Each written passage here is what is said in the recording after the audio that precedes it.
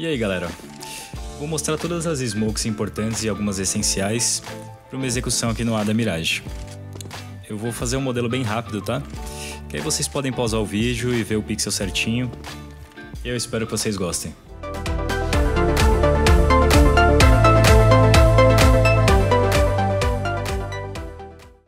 Bom, primeira mais conhecida, a Smoke da escada, ou cabecinha.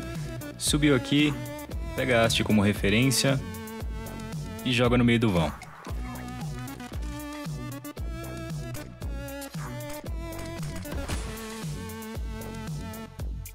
Agora Jungle se para de frente nesse segundo ponto. Alinha naquela ponta de cima do pilar da caverna com aquela folha do coqueiro. Aí é só jogar, que ela vai quicar no teto e cair lá.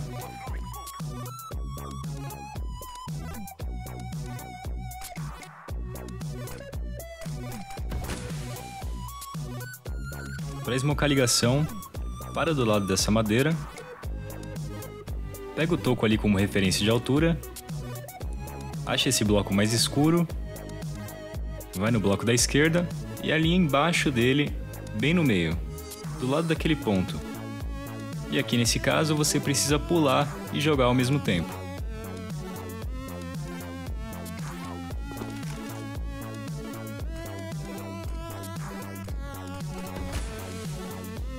Para o meio do bombe, você chega aqui nessa quina, vai um pouco para a direita, acha aquele ponto e joga um pouquinho para a esquerda e para cima dele.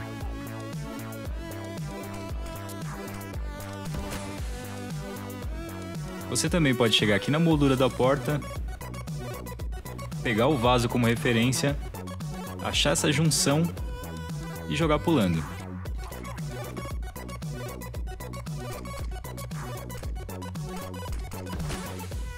Para a caixa de fogo, vem nesse primeiro ponto, alinha com aquela parte do pilar e joga.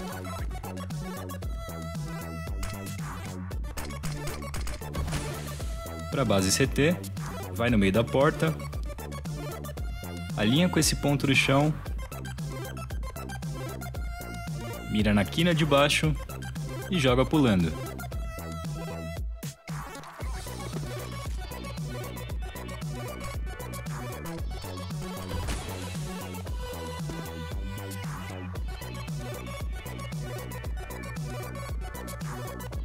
Se você já passou da caverna, você pode encostar aqui nessa caixa, pegar isso aqui como referência e jogar ele em cima.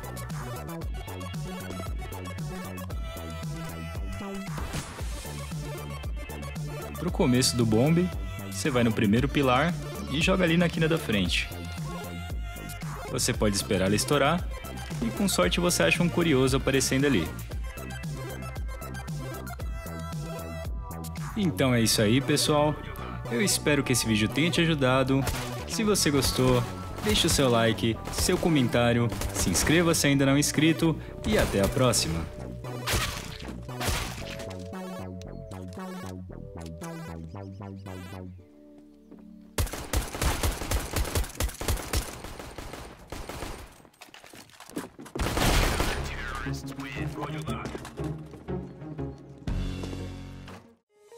Existem smokes que você precisa acertar em determinado lugar, com consistência e não tem muito espaço para erro.